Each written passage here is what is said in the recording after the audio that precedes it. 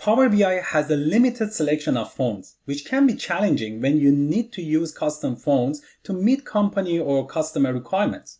In this video, I'm going to show you how to overcome this limitation by using over 1000 free Google fonts in Power BI. So let's explore it together.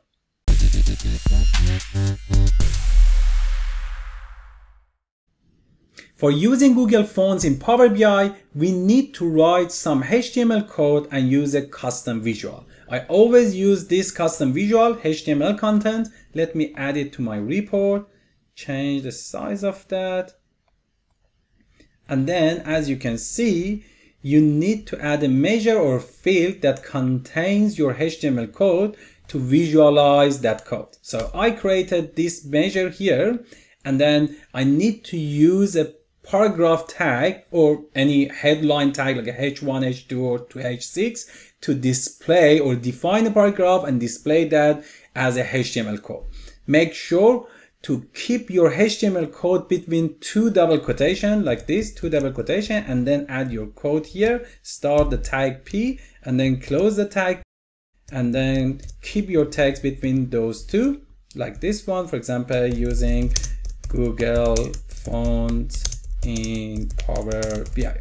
Then, then click on commit and then add that one to my visual, to the values section of the visual. And you can see it displays the, uh, the text here using Google Fonts in Power BI.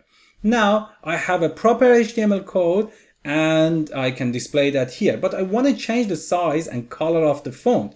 To do that, I need to add some style to my uh, HTML code. Let me copy paste it here in there. So keep it between two double quotation and add this div here. Change the font size to 30 and change the color to red.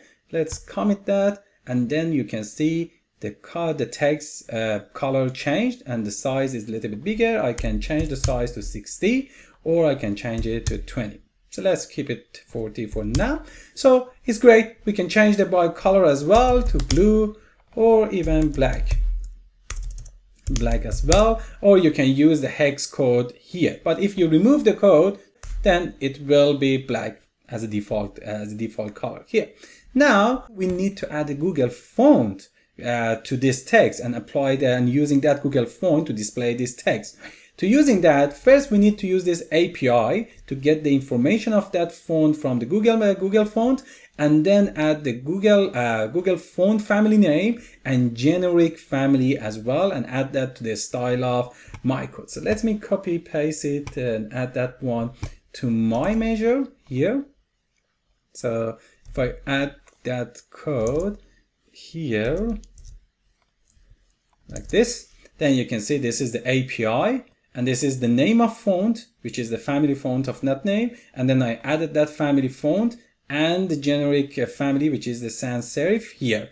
And if I apply that one, you can see in this, uh, in this visual, it shows my text using that Google font. You can use more than a more than a, let me remove this filter, more than a 1700 fonts from the Google font uh, website and using that in your Power BI. For example, this one, if I copy that name and in my measure, change this family name in both here and here, Control Shift L to select both and then paste it and apply that, you can see I have a text using a custom beautiful Google font in my Power BI. If you find this video helpful, please hit that like button and let me know what else do you like to add to your Power BI report using HTML code.